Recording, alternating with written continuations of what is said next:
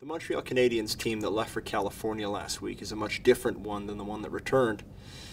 New acquisition Torrey Mitchell is a native of the South Shore, and he spoke about what it'll be like to play in front of his family and friends as a Montreal Canadien for the first time. Yeah, I'm gonna have a lot of family and friends at the game, and yeah, just the adrenaline of, I mean, even on the road, just putting the jersey on was like overwhelming almost, you know, just so exciting for me, and because I obviously, well, everyone in here represents the community and their family, but obviously being having grown up here, it's, it's a little different for me. I feel like I'm carrying more of a load, if you will, trying to represent Montreal. So it just, yeah, it just means a lot to me. And yeah, the adrenaline's going to be pumping. Brian Flynn came to Montreal from the Buffalo Sabres, a sad sack team if ever there was one.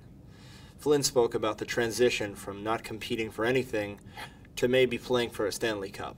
Definitely different. Uh, that's what you get when you play Montreal, I think. I knew um, somewhat what it would be like coming here, but I think once you get here and experience it, it's, uh, it's even better than what you could expect. On Tuesday, the Canadiens square off against the Tampa Bay Lightning.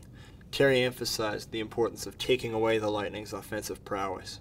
Well, we, we all understand we got a huge challenge tomorrow. We play against the team that scored the most goals in the NHL, so they got a lot of skill, a lot of potential offensively that's coming up. Well, they got a lot of depth to score goals, and and even their defensemen, they're really active.